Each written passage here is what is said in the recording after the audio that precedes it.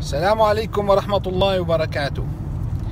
أسعد الله مساءكم يا أهل الخير ويا أهل البركة ويا أهل الذكر ويا أهل الرحمة ويا أهل المحبة.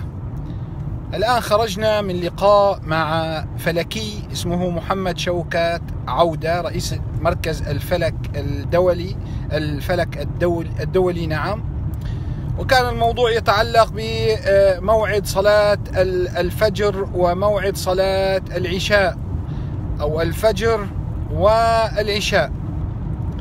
وصعوبة ذلك العلامات هذه التي تختفي في شمال أوروبا وكيفية التقدير هذا الأمر.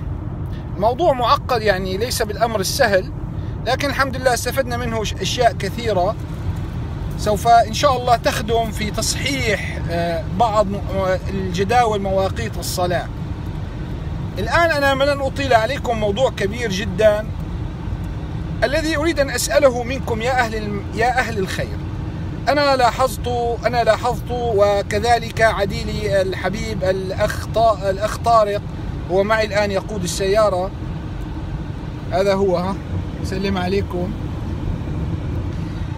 نحن دائما كنا نلاحظ أنه في عند دخول الفجر الصادق ليس الفجر الكاذب تبدأ العصافير بالزقزقة. الشحارير والعصافير عرسها يبدأ في عند باللحظة بالثانية عند دخول الفجر الصادق.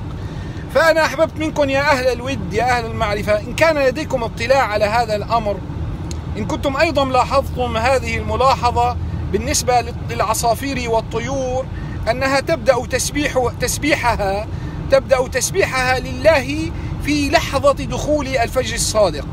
كيف الله سبحانه وتعالى؟ لأنه, لأنه الطيور والحيوانات عندها أشياء لسنا نملكها نحن البشر افتقدناها. فلعل ذلك ممكن أن نستفيد منه في الاستئناس بمواعيد الفجر حين نحن نضطر إلى تقديره تقديرا في هذه البلاد في فترة طويلة من السنة حين تختلف حين تختفي علامات علامات الفجر وعلامات الشفق علامات يعني العشاء في فترة طويلة من شهر أبريل إلى شهر أغسطس آب في كل عام.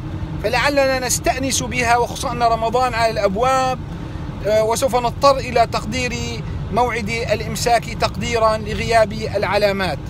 فمن منكم لاحظ هذه الملاحظة فليدونها لي أو ليسجل لي عندما يخرج لصلاة الفجر. هل يسمع بالضبط زقزقة العصافير والطيور والشحارير في تلك اللحظة؟ حتى نستفيد من ذلك. جزاكم الله خيرا. وبارك بكم. والسلام عليكم ورحمة الله وبركاته.